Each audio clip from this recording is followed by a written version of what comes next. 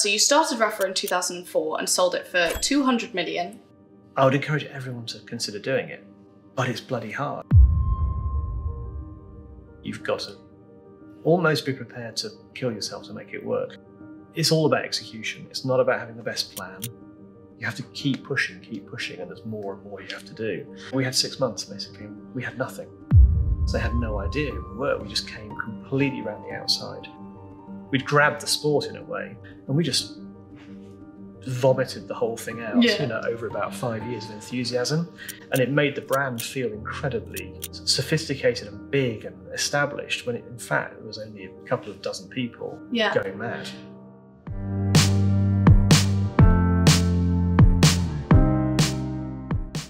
Thank you so much for joining me today. I'm very excited to have you on. I'm going to get straight into it. I'd love for you to give us a whistle stop tour of your entire career in a few bullet points. Uh, in a few bullet points, there's two themes. Mm-hmm. The themes are branding. I'm a brand guy.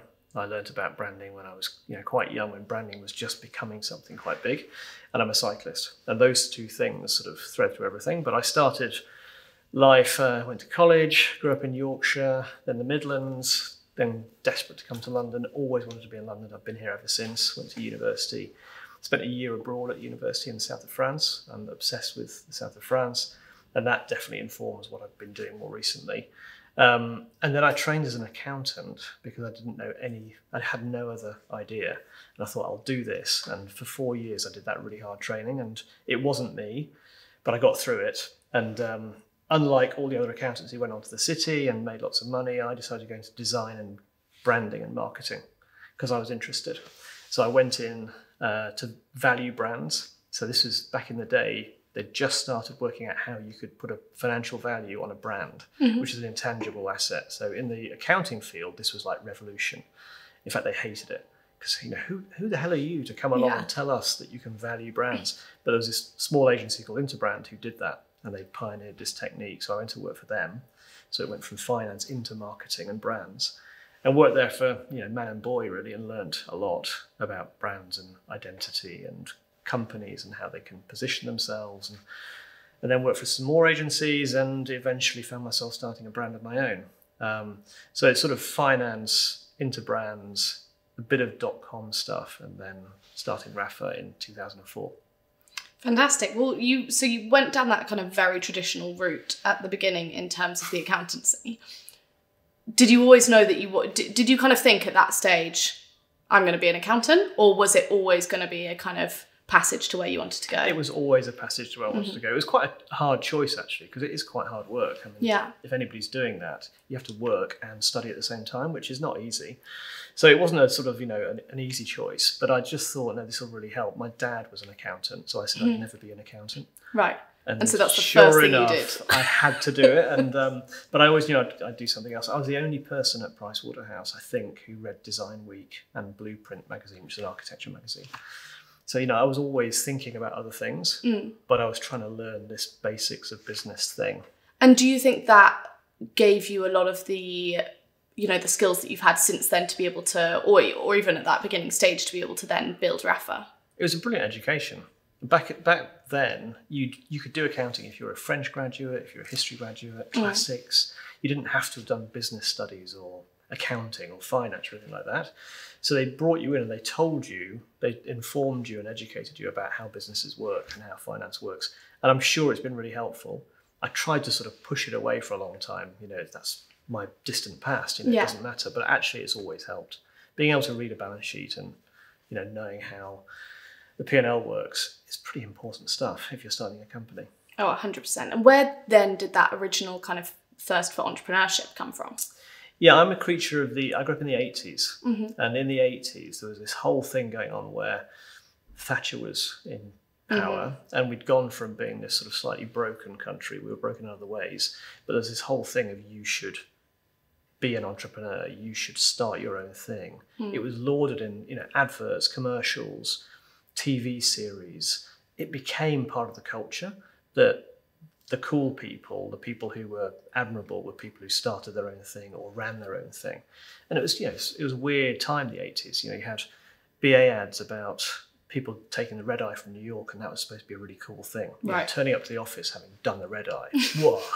you know, it was very much like that. It's very And like I- American dreamy. It was it was very much America coming here, which Mm. so much of our way of life and culture comes from the US, and that was definitely part of it. And so I grew up with all this around me. And my father worked for a, an entrepreneur who had three or four different businesses, so that was always there as well. So I think it was just something I always felt I should do.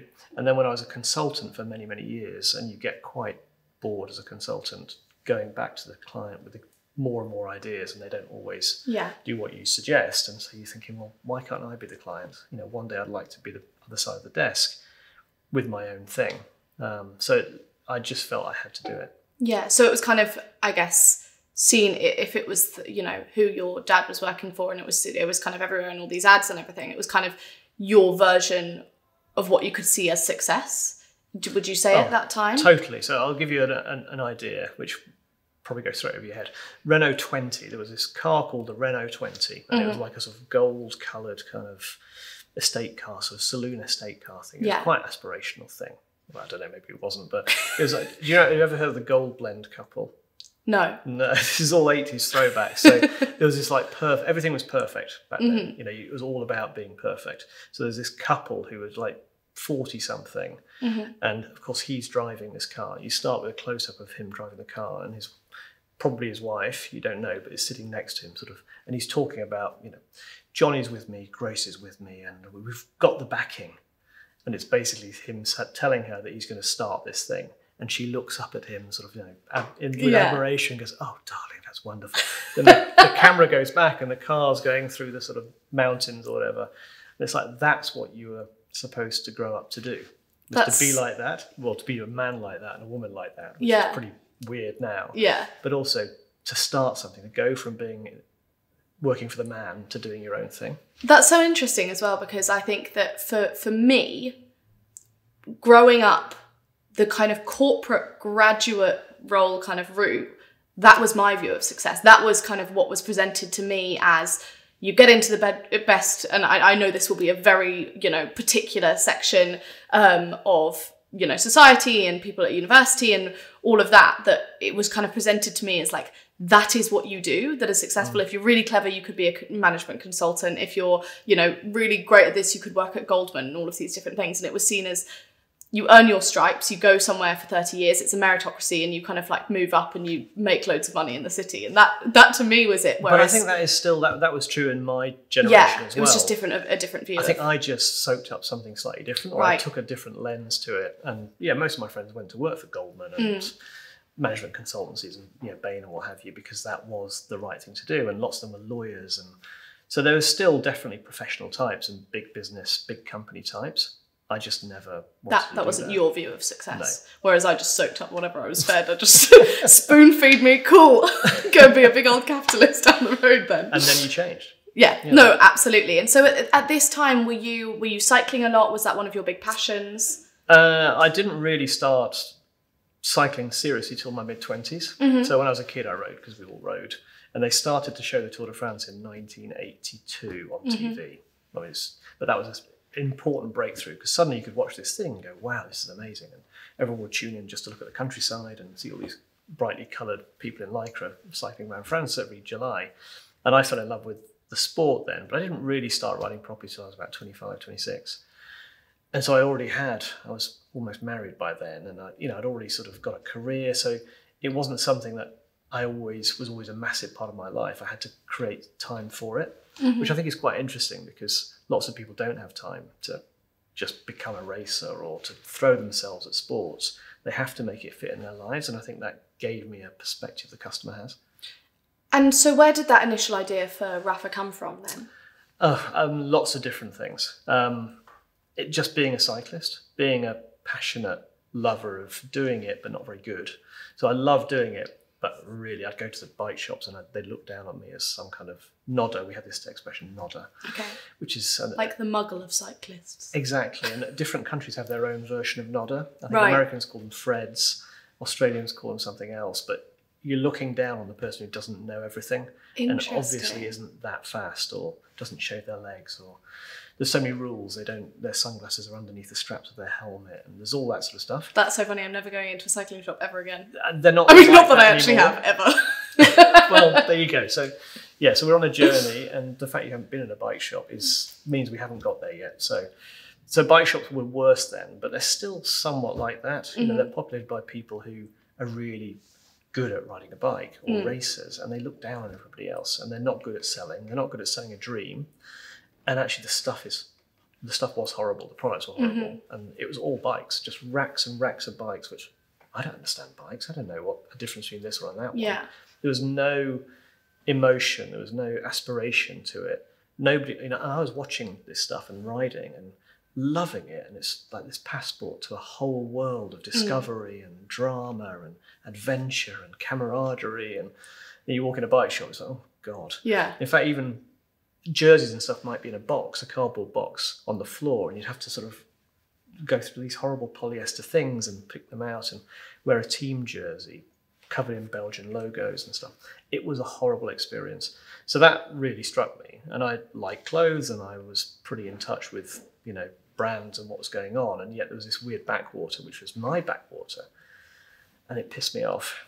Um, and I was working in luxury quite a lot. And I just felt there's a you know, selling experience and selling aspiration and connecting emotionally with, with customers, which is what luxury brands always were brilliant at. Mm. There was an opportunity to do that around this sport, and other sports had done it. You know, skiing had kind of done it, surfing had done it. Mm-hmm. You know, Quiksilver, which was a big brand once upon Yeah. a time. I don't know if it even exists now, but they had nothing. They just had this idea of the endless summer and the perfect wave, wearing sunglasses and shorts It's a lifestyle you're selling. and it was just a complete lifestyle but people loved it you know mm. so why can't cycling this sport which actually is seen as very niche and dweeby why can't that be something aspirational because to me it was totally aspirational so that was the driver and i didn't know that it could be mm-hmm. you know i didn't know what the answer was so I and I at the time I just decided I need to start my own brand. I'd, I'd been consulting long enough. It's like oh, I've got to do something. So I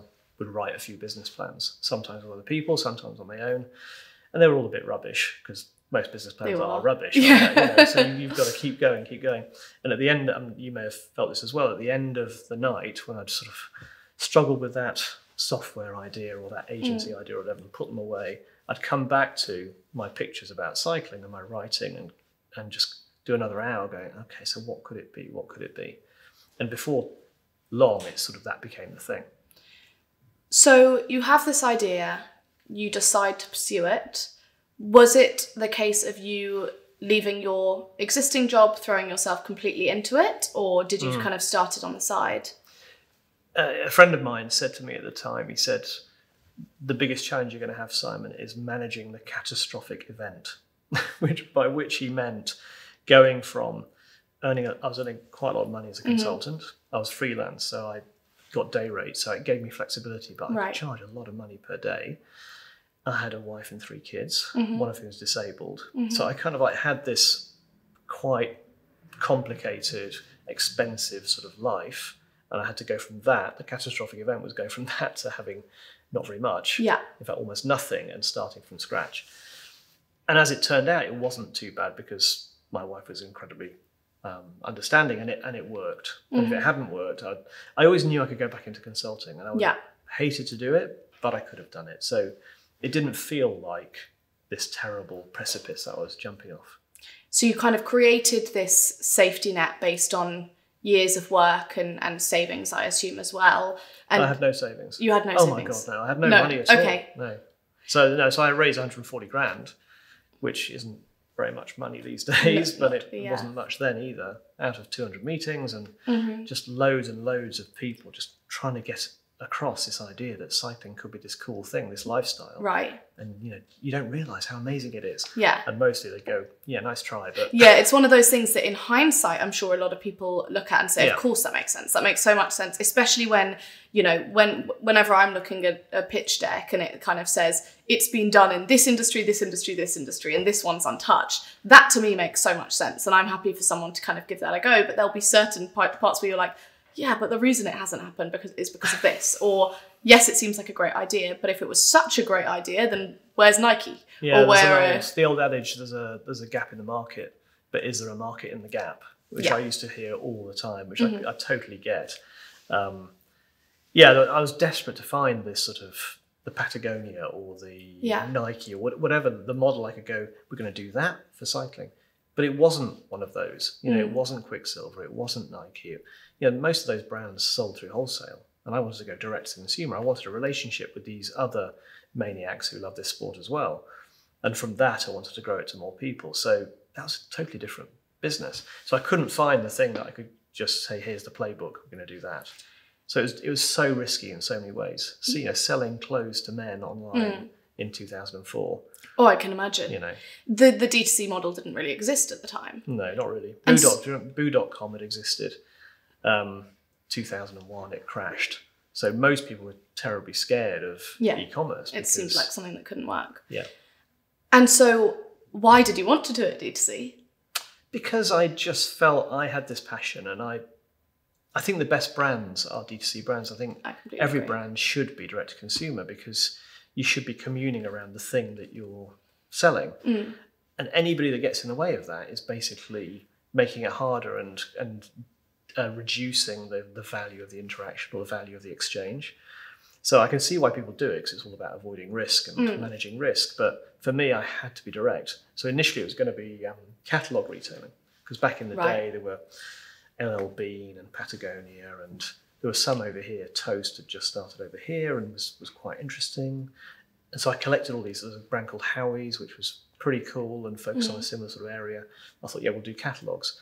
But then I started to work a little bit around the internet and thought, no, hang on a minute Mm. this has got to be the one because I want to reach people in New York and Melbourne and Tokyo and not just in Basildon and Boreham Wood, you know, which is what most people would do is like Mm. go from one place out. I knew the customers were all over the place. Yeah. So the internet was perfect for that. Especially if that was something, as you mentioned, that was actually bringing cyclists together, was this idea of traveling and adventure and all of these things. If you're keeping that within one small pocket, it doesn't seem to resonate with the whole brand. Totally, totally. And also, I, I- just think you have to. Basically, what I wanted to do was to build authenticity and legitimacy mm-hmm. because if you're in a sport, particularly a sport like cycling, you know, it's a bit like other technical sports, you have to be credible.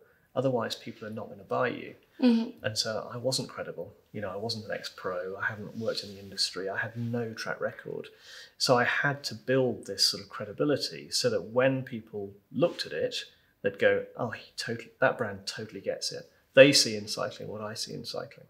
So that's what I felt I could do is I could describe it to them and mm-hmm. communicate the emotion and communicate the experience because nobody else was doing it and I was a customer so I could say that and that would build me the credibility over time but that's, that's only for a few people you know some of the, there weren't, weren't many people in the world who'd go yeah I get that because I do it because there weren't that many so I had to find them wherever they were So, how did you get that initial funding?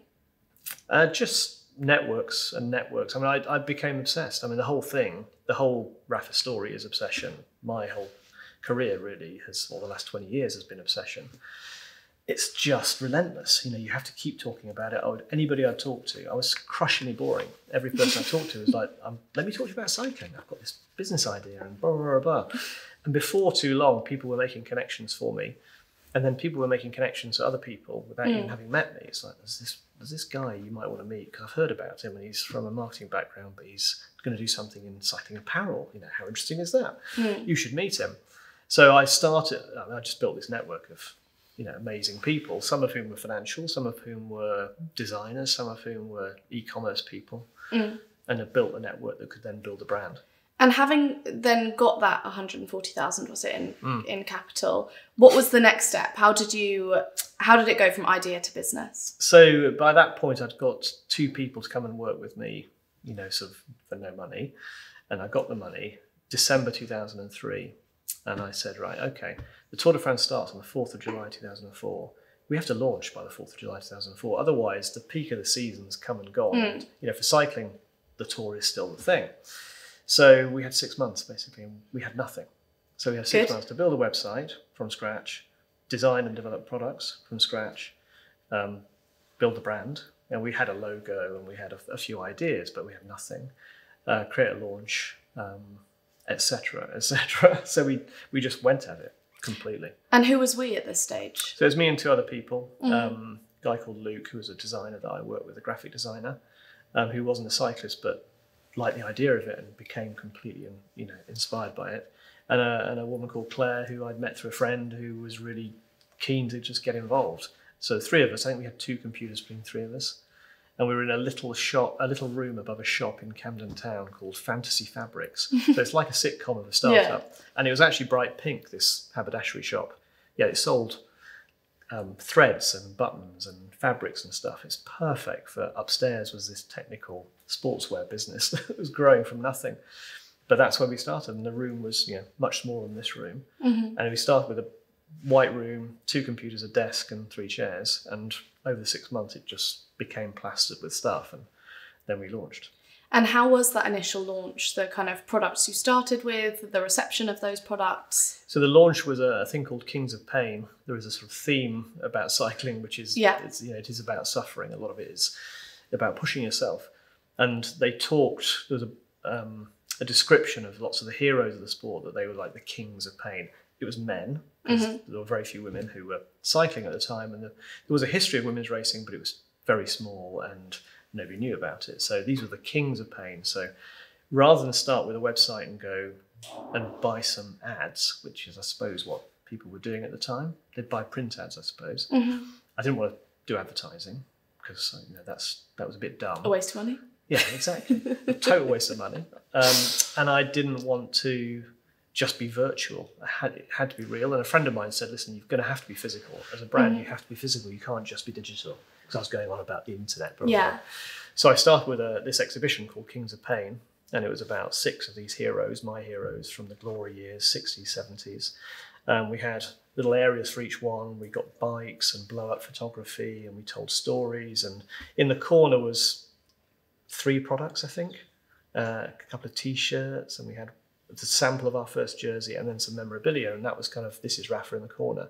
But basically, we were saying the brand is about all this. Yeah. It's not about the garment. It's about loving this sport and come and enjoy it. You know, it was open, I don't know, 12, 15 hours a day. We showed the tour on the wall every day. So people came in and watched the Tour de France and it became like a little magnet for people who Yeah. knew about cycling and they came out of the woodwork and would find their way to this place in the Truman Brewery in the East End. And they were like coming out of the closet. It's like there were lots of these cyclists, but you never see them because they go out in the morning, early in the morning, and they do their laps in the park or whatever, and they'd be, they'd be a bit sad. But Yeah. here was somebody saying, "No, this is cool. You can, you know, be part of this." So it was quite successful. We built off that. We built quite a good network of customers, hmm. and we got the website launched, obviously, and that's where we were selling. And I can imagine that, you know, this this the idea of cycling that you're kind of portraying is this idea that actually lots of people loved it, but they didn't have anywhere to convene in a community. And it was also this community that seemed quite exclusive, but you wanted it to be exclusive in an inclusive way, is kind of the the idea I'm getting from it. It's like Yeah. you can join the club, but we're in the club, if Yeah. that if that kind of Yeah, we're sense. proud to be in this club. This is hmm. an amazing thing, and and being proud to be a cyclist is a, a sort of theme of of the journey. Actually, you know, why wouldn't you be? Because it's the best thing in the world. It's the greatest way of living your life is by bike. And yet, we weren't supposed to be like that. You know, we were told that we were losers, and you know, motorists still shout at me as you know, you're a loser. Fact, I rode to Brighton and back um, day before yesterday, and as we were coming out of Brighton, there was a sign that said. Um, ride to uh, ride single file, you lycra clad twats. Somebody written on a road sign, and that is still pretty Poetic. Much, yeah, that's pretty much the British view of what a cyclist is, and it's true around the world. So, no, I'm going to be proud of doing this because actually, I'd much rather do this than sit in a Ford Transit or a Mm. you know Mondeo or whatever, and you know hate myself. yeah that's that's so interesting and it's such a um it's such a kind of fun story in the way that you kind of took this obviously on a personal level you wanted this to kind of change Yeah. and wanted it to be something that kind of created this community but you kind of took this uncool niche or this like underdog niche and turned it into kind of what we see in these like high school movies of like it's cool to be uncool but you only realize that in hindsight you only realize that when you're older and you're kind of saying actually that was really cool that I loved this but no one because it I didn't fit in it didn't kind I of haven't thought about it like that. This is a bit sort of yeah, the geek yeah it, actually turns into the, the exactly and the then girl. ends up making it a nine figure business um, yeah, but but, but there were. I mean, the, the the truth was that cyclists weren't what people thought they were. mm, You know, they were there were loads of designers and architects and sort of creative people. There's, Yeah. there's a sort of Venn diagram of people who are in the creative industry and people who and engineers and stuff and people who ride a bike. And so they're really interesting people in that crossover. And there were loads of celebrities who actually were quite keen because road racing and this whole sort of, you know, riding in the Alps and Tuscany, it is a pretty cool thing. Yeah. It's quite beautiful. It's Mhm. a lovely thing. So under the radar, there were all these quite cool people, and we just, te- you know, brought them out basically. and so you started with community and with kind of products on the side i guess how Well, sort of. No, it had to be products. Mm, So it was, it was Rapha Performance Roadwear, okay uh, and it was we had to say performance because it was so romantic what we were doing and Mhm. telling all these lovely stories, and and it was a lot of content, but actually it was all about the product, and the product had to be better than everything that was out there. And I used to give out flyers at events that said things like "demand more from cycling clothing," really pedestrian kind of, like, Yeah. direct, straight between the eyes. You should think about spending a bit more for better quality product. This is so funny because one of our taglines as well is like you should be asking more from your activewear. Like you should be asking it for it to be sustainable, ethical, and high performance, and look nice, and all of these Totally. things. Totally. Well, back back then, as I described before, it's polyester, Mm. shitty, scratchy zips. Yeah. You couldn't spend more than about 40 quid on a jersey. But I'd be going into Selfridges to buy a shirt and I'd be spending 100 quid for a Yeah, shirt. and you're like, I don't even need to do anything, with it. Yeah, this shirt is just, you know, it doesn't, yeah, it's nothing. So you could only spend about £40 on a jersey, but this is a thing that you're going to wear for eight or nine hours, because that's what we do. Sweat in it, go through rainstorms, go up mountains, descend through chilly, you know, ice cold wind. Mm. Um, you've got to carry your tools, your food, your fur, everything that you own, you're going to carry in this thing, and you can only spend 40 quid. Mm. And it just didn't make any sense. It was like the, the whole industry had positioned itself as a bit shit. And all I was saying was, it's not a bit shit, it's actually brilliant. And yeah, you should expect more. So, as someone with a kind of more traditional and very brand based background, how did you then decide and manage to scale a product business? Uh, just by enthusiasm. It was just be, it was a complete blank canvas. There was Mhm. nobody doing anything for at least the first five or six years. There was no competition because the existing brands were rubbish Mm-hmm. and were stuck in their their you know their distribution deals and they weren't direct. So they and they weren't focused on us. They had no idea who we were. We just came completely around the outside, and nothing had been done. So yeah, nobody had. There was no great cycling magazine, so we started a cycling magazine called Rouleur. Um, nobody had done photo shoots where you actually go to amazing places that are relevant and aspirational and shoot cool people riding their bikes properly. So we did that. Um, nobody had done um, book publishing. So we published books. Nobody had made CDs about the music to do with the sport. So we made CDs. Um, people hadn't done nice leather sort of accessories and there was no like wash bag or you know all that stuff that you buy from other brands. Nobody had done accessories like that. And then nobody had done sort of city wear stuff for I, I rode around town all the time going to be a consultant. Yeah. And I'd wear jeans rolled up, dickies rolled up, Mm. SPD mountain bike shoes, and a messenger bag. And I thought I was pretty cool, but you couldn't buy that stuff. So Yeah. we made that stuff. So and nobody was there. So we could make loads of mistakes, which I'm sure we did. Some of the products were quite out there. But you just kept going, kept going, and kept going. And before we knew it, we had really quite a broad range and we told loads of stories. So we just we'd grabbed the sport in a way. You know, nobody had talked about the places that mattered in the sport. Nobody had talked about the great stories of the heroes in the, the past. And we just vomited the whole thing out, Yeah. you know, over about five years of enthusiasm.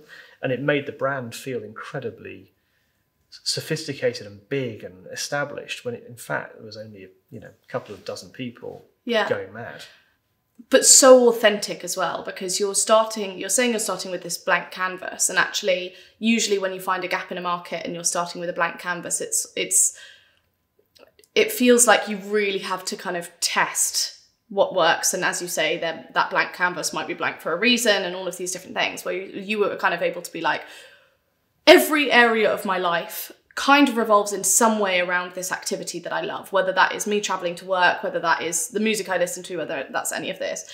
And rather than just talking about selling a lifestyle, which is like the brand 101 hmm. currently hmm. and has been for a few years, you actually sold every single thing that could improve that lifestyle for that target customer. we created a lifestyle absolutely and and the the the, the secret to the whole thing i'm sure is i was the customer Mm-hmm. if i hadn't been the customer we'd never have been able to do all those things.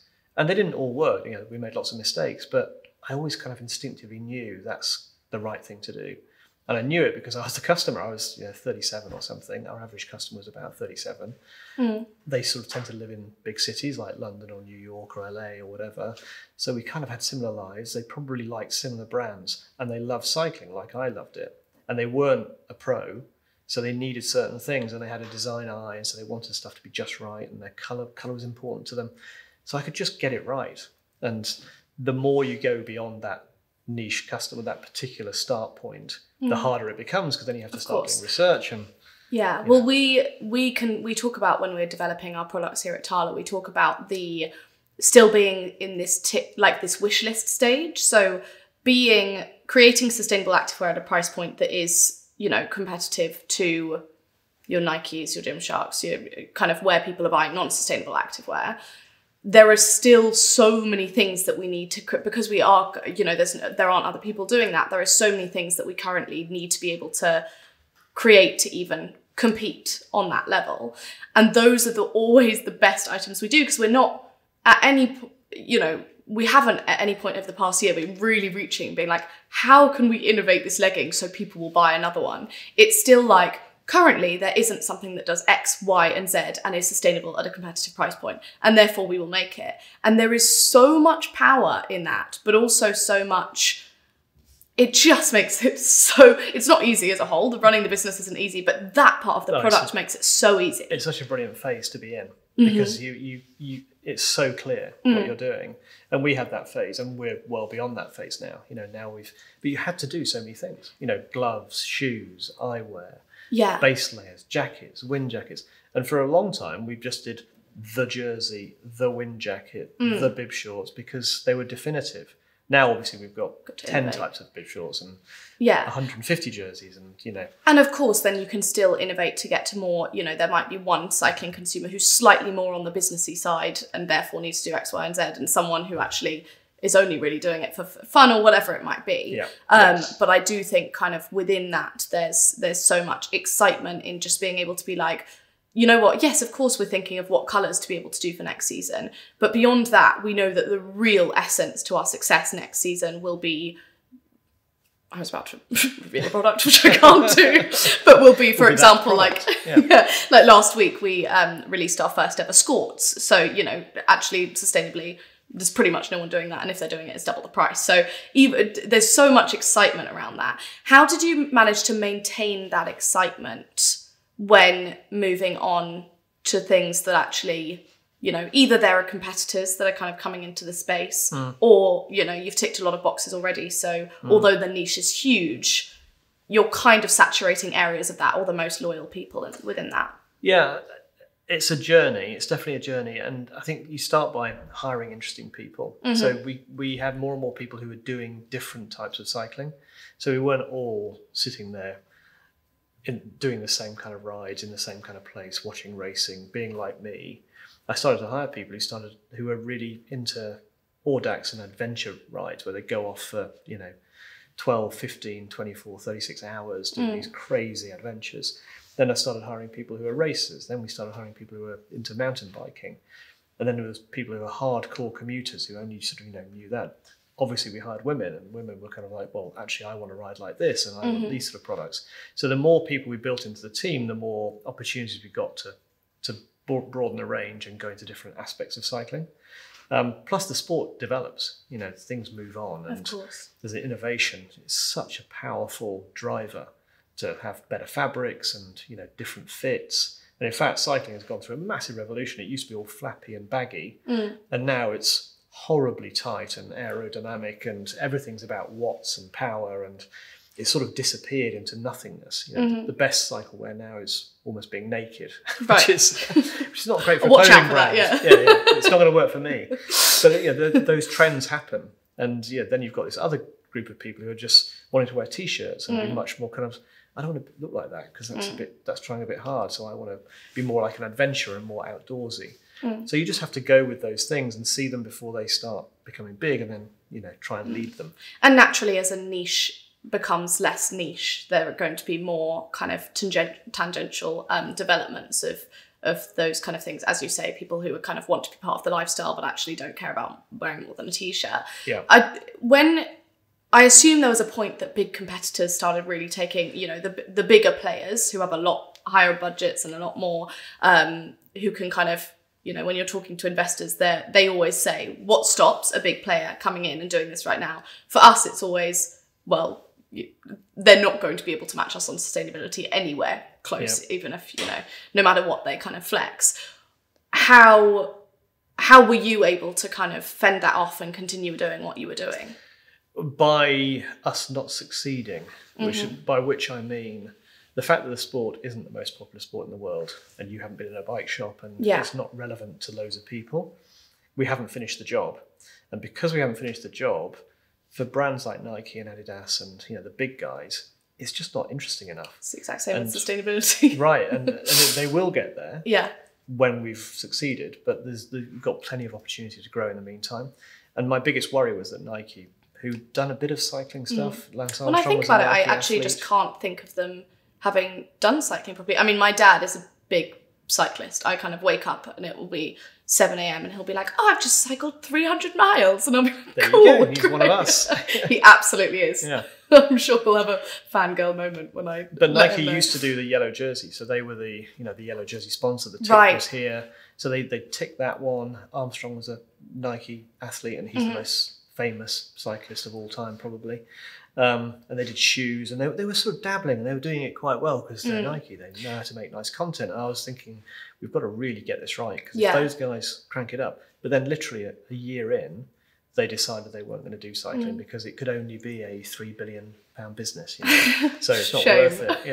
definitely not worth my time. Yeah. Um, but I would also say, as part of that, you know, when you have spent so much time building a brand and building that lifestyle and building that community, that cannot be replicated on on such a scale as someone like Nike. They can create pockets of community. They have an amazing community around, say, like high performance and it being about you know going for gold and all of these things. But actually, when when you've created this idea of belonging in a community taking that outside of a Yeah. niche and putting it into a mass market, it's not as appealing. Yeah, I think that's right. I think they could force their way into credibility by Mm-hmm. having great innovation, and they've got way more money to spend on that. But they're not going to get the deep engagement, the Mm. belonging that you talk about. And I think our community, you know, it's proper. They're proper members. You know, they pay to be part of the. You know, some of them, twenty five thousand of them, pay to be part of our community, not through buying product, but just through subscription. So they're really in it and they're not just going to suddenly leave because unless we do things wrong which we mustn't do but um, that's quite hard to replicate and i think there's so much talk of community but it just means a cohort of customers really Yeah. when it's really powerful it's when it's real engagement Of course, and uh, you you know you're a brand guy, so obviously one of the the biggest things as well that's important to kind of mention is that's exactly why you build brand. You build something that's not just yes, the product is fantastic, but this brand it's not just about stamping our name on things. It's about the associations that our brand has in order to be able to uh, kind of if we do stamp it on something you know what that stands for and Yeah. you're almost giving a you know especially with fashion as an expression of the self you're almost able to say if you're wearing Rapha this is who i am this is what i love and i'm part of this community yeah that's 100% what we've done 100% and it gets harder as you get bigger because you start to have all this baggage around your brand.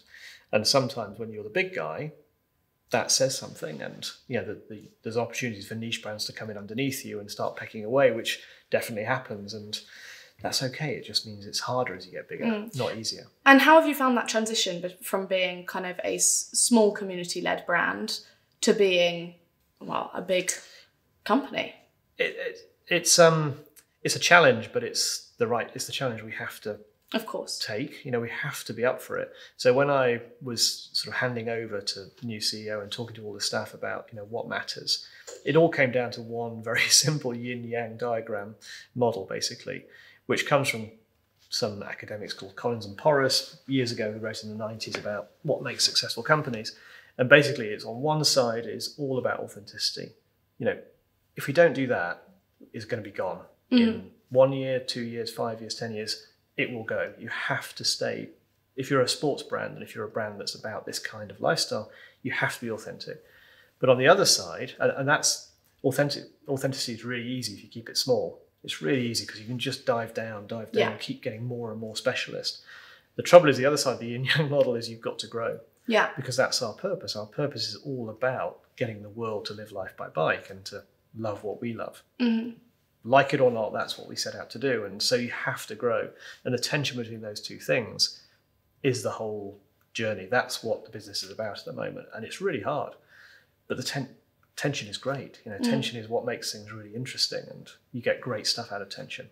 And were there times that you found that kind of really challenging in terms of maintaining the authenticity and the soul of your brand, whilst also saying, "We've got to, we've got to hit this number, or we've got to get out to this many people." I think I never found it difficult at all. Mm. I think people who work with me Of I've often found it really hard because they don't quite. It's either lots of people want the world to be binary. Mhm. You know, the world seems to be getting more and more binary, whereas in fact it is shades of grey. So I'm really happy sitting in the middle. But they were, I know, well, if we're going to be more accessible and we're going to embrace DEI and the stuff that we are doing, then surely we have to leave behind the suffering and the sort of like mm. hardcore. And does racing really matter anymore because we're about this? It's like, well, no, we have to do both. And mm. and likewise, if we're all about authenticity and racing, then can we really be, you know, em- embracing these you know, different body types and ages and mm. colours and what have you? It's like, well, yes, we have to do both. Yeah. So I think they found it really difficult, and you just have to show them how to tread the line. And we'll get it wrong often. We know it's you swing like this, but overall you're still heading in the right direction. So you've have you fully exited now? Uh, I'm still um, a director. I still do a few days a month. So no, I haven't. I don't know what the word is for what I do, but it's, Yeah. it's not. I'm not semi-retired. I'm sort of. I've stepped down. I'm doing different Floating. things. I'm in a different chapter of my life. I Yeah. don't know. Yeah. And, and do you worry then that on a if you were to fully exit at any point, do you worry that those kind of non-binaries that you need to be able to keep in place because you hold that the kind of Yeah. key to that soul of the company do you ever worry that that would fall to one side or the other Uh, yeah, I, that's that's the thing that would definitely make me really concerned, and I do sometimes worry about that. But I spent so long trying to build the culture to get it, and I've sp- I've bored them s- relentlessly about it. But then you know, new people come in, and you have to in, induct more them, people relentlessly. Well, you have to bore them exactly. So we've now got films that they can you watch. sound so- so fun to work with but it is a bit like that yeah um, you know, we we, per- we have this core value called suffer, which is yeah, it's a challenging word, and but it's so related to what the experience of cycling is and what life is, I think. And it doesn't mean hurt yourself; it just means go at it. You know, don't give up, be persistent, be ambitious, push yourself harder than you've ever pushed yourself, and only then will you get something that's valuable. So it's really important. But we call it suffer because it's that's what it is. You know, is that uh, we don't have to make it all sort of fluffy. yeah But at least once a month, somebody would come into my office and go, and I'm quite open and quite, I'm hopefully not intimidating at all as a, as a leader. So they'd come in and they'd say, so yeah, this, this word suffer, can we change our core value? When are we going to change the PR that? people Well, looking in and being like so quite often, yeah, well, let's have a word about this it makes their life very difficult. You're trying to get people who don't care about cycling to want to ride a bike, mm. and yet your core value is suffer. Come and spend your weekend. And so I have to sit them down and say, yes, let me t- Yeah. explain why this is the core value. And also let me explain you don't change your core values because Mm-hmm. they're your core values. It's kind of like you become somebody else when you do that. But what we communicate isn't just the core values. You know, what you say doesn't, it's not as overt as that. So we Mm. don't go out saying, hey, suffer, you guys. Yeah, Rapha, suffering. Exactly. Suffering for fun. Which for the first 10 years, we could almost do that yeah, because that because was it- going straight people understood it so much. Yeah. It's like, oh yeah, I do do that. Mm. And then it was open to parody, so we had people sort of, you know, making fun of us being sort of epic and black and white and all that stuff. But it was it was it totally hit home. People knew exactly Mm. what it was. Now we have to communicate in a more sophisticated, subtle way to different audiences. Of Um, course. It's just growing up, isn't it? So I want to speak to you a bit about um, the kind of full journey of Rapha. So you started Rapha in 2004 and sold it for 200 million in Dollars. dollars. In important distinction. Yeah.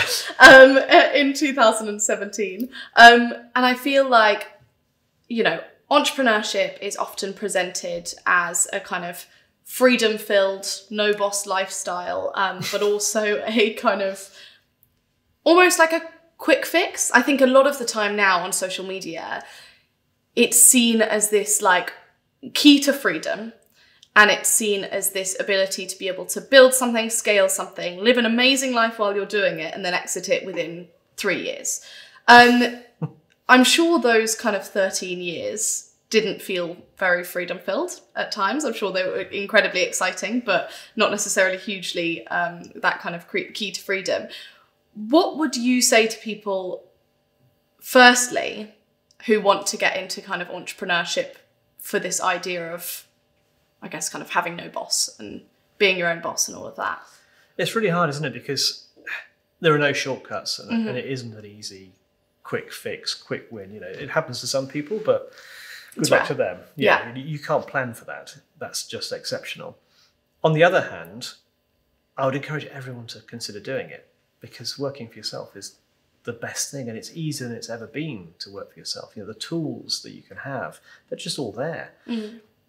but it's bloody hard. So I would I would encourage anybody to give it a go, but know that you've got to almost be prepared to kill yourself to make it work. And along the way, it's all about execution. It's not about having the best plan. It's not about having the right kind of investment. It's not a, but as you're finding out, you know, you, you have to do all these steps. Yeah. But on their own, they don't guarantee success. You have to keep pushing, keep pushing, and there's more and more you have to do. So I, I just think people have to go in with their eyes open and be prepared to absolutely kill themselves to do it, suffer to do it. Mm. Having said that, I felt totally free. You know, freedom's an interesting word. I, mm. I was doing exactly what I wanted to do. Yeah. And I, you know, I have a disabled son, and my wife wasn't doing what she wanted to do. She was looking after him primarily, and so I was always conscious that I had this privilege to be able to pursue this thing. So, a, it had better work. You know, I mm-hmm. had more drive to make it work. But secondly, I meant, you know, it's got to be everything. It's got to be perfect, and I mm. should really enjoy it. So, I love every minute of what I do. It was I never for a second, even when dealing with the bank or you know Yeah. letting somebody go, you know, horrible things you have to do. It never felt like work. Yeah, it's a it's a kind of different type of freedom. It's not freedom of you can do whatever you want today. It's freedom of you can do exactly what you want today to make it to where you want to be in 10 Yeah. years or whatever it might Yeah. be.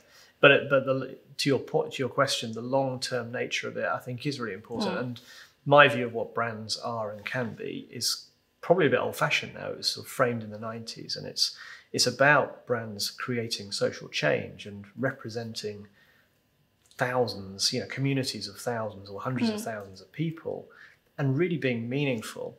And you don't do that in one, two, five years. You know, that takes 20, 30 years.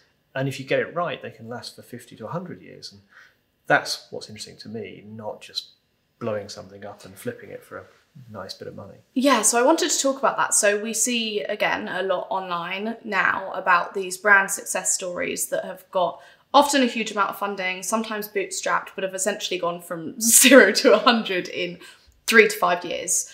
Um, you played the long game. I think that you, you know, you did fantastically very early on um, as part of that, but it wasn't measured necessarily by being valued at, you know, two- 200 million or being Yeah. a unicorn or all of Yeah. these things that are kind of seen as this like entrepreneurship end goal and entrepreneurship success story. What do you think that, first of all, kind of why did you play the long game? And also, what do you think that of this kind of view that that is what brand mm. building should be? Mm. Uh, and I think there's a lot to unpick in that. I think, why do you start a company? You know, I, I never had the ambition to make loads of money. I mean, clearly I wanted to make some money because mm-hmm. I've got dependents and that would be quite nice. Yeah. But that wasn't why I got up in the morning. That wasn't why I went hawked a business plan around. yes, you have to have an exit and you have to have ways of your investors getting their return, but that was just incidental to building something. And it's all about building the thing and the impact that has. It was a creative act, it wasn't a ruthless financial act. That would we just did enough of that to make sure the investors were okay and that I made some money. But it was never the driving force, and it, it never should be, I don't think.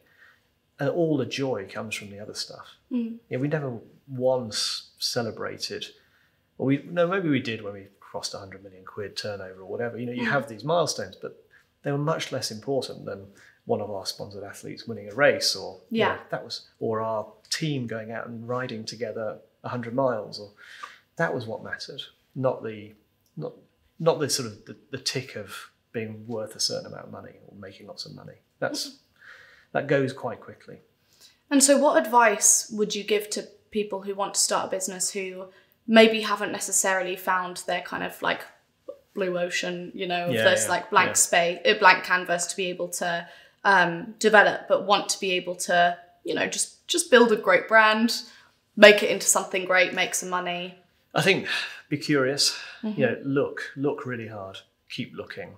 If you haven't found it, just keep looking, and you'll you will find it. There's a million opportunities out there, and I know it feels to certainly with the pervasive internet, it feels like everything's been done. Mm. I'm sure to younger people, it's like, oh God, I can't do that because it's been done by that person or that person, or you know, Grace has done it or whatever. You see all that stuff, and so you think maybe there's no opportunities. There are a million opportunities to do things better and to create value for people, and that's all that starting a brand is doing is creating value. You just got to keep looking, be curious, be relentless, keep looking, and when you find something, just do it. You know, just execute, make it happen, risk something, have a go. It might blow up, it might be rubbish. You know, you might lose your shirt, but you don't know until you've tried. And all business plans are just, you know, useless documents that are worth nothing until you've done it. So you just have to do it. Um, it's hard though. You have to have confidence to do that. And I, I'm lucky that I've always been very secure and confident from my background and my upbringing and all sorts of other things. And I was a bit older when I started as well. If I hadn't, if I was 25, I might not have Mm. been able to do any of the things that I was doing. So that was helpful. But you've got to try and find that confidence from mm. you know, deep within yourself. And what what do you think it was that gave you that confidence? Um, my parents being totally supportive. I was the eldest child, so I was mm. kind of like given everything I wanted, and- but also given boundaries. and Yeah. it was a very secure upbringing, which is quite rare these days, and I was mm-hmm. you know lucky to have that. And they took me to you know places in Europe, and I was able to do certain things, and I never once was told I couldn't do it. Mm. Um, and I was you they celebrated success, but not in a horrible sort of you know over the top way. It was just correct, I mm. think. And, uh, and at the time, I had no idea that's what was happening. But now I look back and think, wow, compared to lots of my friends, it was incredibly stable and supportive. And is that how you try and raise your children? I suppose so. And we have this weird life where my 27 year old is, you know, is very disabled. So there's a different lens in our lives, which is which creates a lot of anxiety and stress. And it's been hard to shield the other two from that. You know, it, it is our life. Our life is our son and all of us. So we do as much as we can to do that, um, and to show the right way. Be good people. You know, I honestly I hate the idea of having to be ruthless and you know that, that expression it's just business. I hate that. It's Yeah, never just no. business. It's people doing Yeah. stuff together. So I think we try and model the right behaviour, but we probably don't succeed. And there's a lot of stress with living in a disabled family. So Mm. you know, Yeah. Well, I think that is a fantastic place to end. You've shared a a huge lot of stress living in a disabled family. That's great. Whoopee. do what I do. It's great. No, but I think what you've been able to share is like a really kind of open and honest view in terms of the the realities of both the brand side, but also the impact that has from you know what you're doing on the everyday and what what means a lot to you, kind of from um, from a home standpoint as well, and how you try and do things. I think that just doing things as a good person stands for so much, as you Yeah. say. It's not it's not about you know it's never just about business when you're when you're interacting with a person when you're building something with people it's never just that um, and especially if you're building kind of a community based business and a business around people it's always going to matter what those people are thinking and what those people are feeling. And I think that is incredibly important. Yeah, and it's and the the more the older I get, the more I think those human relationships, relationships with the customer, so brilliant. It's such a nice thing to do, and you know, traveling the world to meet customers in, you know, in Taiwan or in Mm. California or wherever, it's just brilliant Mm. because that's all we do as human beings is deal with other people. You know, it's the most satisfying thing you can do. So, yeah, Amazing. Well, thank you so much. you're welcome.